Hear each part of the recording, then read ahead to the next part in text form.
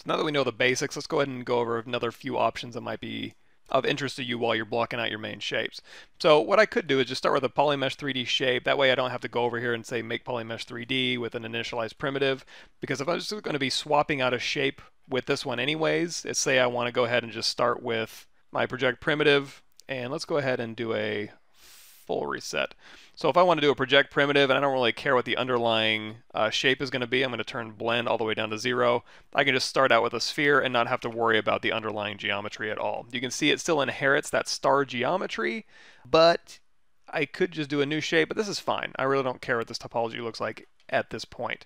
Now the reason I might start this way as opposed to starting with a polymesh sphere is if I want to go ahead and say make a shape like this, and then say accept, and then I want to go ahead and say make a duplicate of the shape, but then hold down shift and then grab these outer corners right here.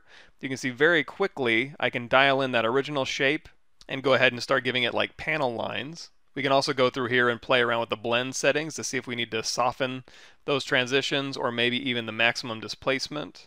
And remember opacity, you can pull this in to, to cut in. An alternative to that, if you wanted to do a cut in, is you can change this back to torus. So if you remember, if we go over here, let's go ahead and say new surface up to past zero so we can actually see it. And then we'll go to this primitive type. We'll go to primitive type of 4 so we have that torus here. Now as I scale this up and we change this to new surface of 0, you're going to see it's going to start cutting in. And then you can go through here and you can change the overall shape of this torus as it's cutting in here. So you can make it more creased on the edges. You can also feel free to make this thinner or thicker just using the scale, you can clip one shape, one side of the shape, using the clip dots, or you can hold down shift and do both. Or you can clip from the top and the bottom as well. That might give you some interesting cuts through there. And always remember, you can play around with your maximum displacement, which will give you some interesting curves and fall off. And if it's not enough tessellation, you can increase that tessellation and they'll give you a little bit of a smoother shape. And or you can also do the opacity, so I'll go ahead and soften those out. And of course you always have blend, so you can actually blend between the cutout shape here and the original form. As you scale this down, it'll turn into an additive shape because we're projecting this primitive, and as you scale out and it goes past that midpoint, then it's going to be cutting in. So we can go ahead and accept, and then we can maybe scale this in and continue cutting. And let's accept that one. And then I'm going to pull this shape out, and let's go ahead and turn on Z symmetry so it's going on both sides. And let's change this one to a rectangle so we can chop these ends off here. So I'm going to change this back to a new surface here. I'm going to say uh, we have a torus here, so I'm going to change this primitive type. Let's say primitive type 3, and we're not going to taper it at all, so we're just going to have a rectangle shape, and then we'll change our new surface back down to 0, so now we can just clip in and make a flat surface on either end. And you can scale this up if you need to. Let's go ahead and scale it out as well. That way we can clip in as much as we need. We can say accept, new surface at 1.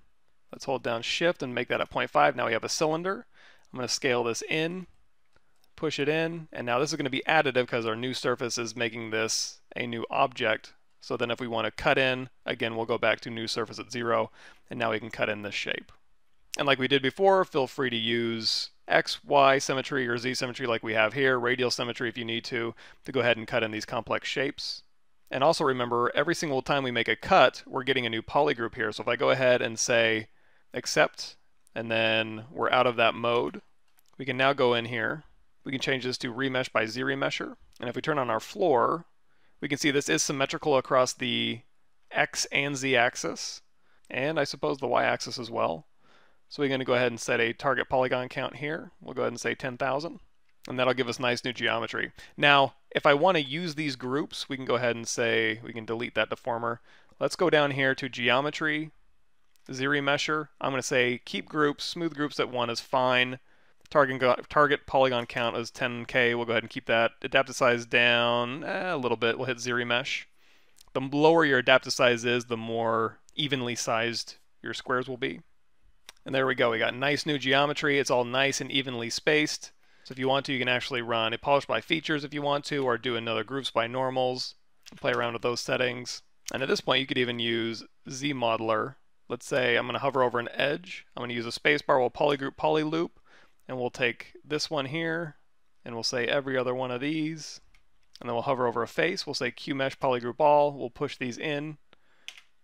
So you can start detailing this out with ZModeler as well, using insert mesh brushes and everything that we've gone over so far. Now, if I scroll back here just a little bit, you can see, uh, since we, well, let's scroll all the way back. So if we go all the way back here, you can see since we did start with a star, it did kind of give us a not completely optimized geometry. So it might be worth, instead of starting with this, you do go through the extra steps, switch over to like a sphere 3D, make Polymesh 3D, go ahead and drag that out. And if you start with this one, even if you do, uh, say, go into project primitive and you overpower it, you're just projecting that sphere and then you're starting with, say, this type of shape. Let's go ahead and turn blend off. Uh, you'll still probably get a slightly more even topology result when you do eventually go to Z remesh and stuff like that.